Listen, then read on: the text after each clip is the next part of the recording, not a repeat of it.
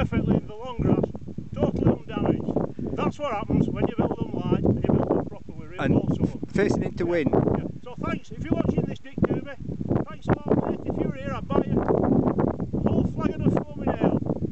Cheers pal, thanks a lot. Tell him that I've got one. Yeah. Dave, Dave Kaye's got one. My mate here who's taking this video.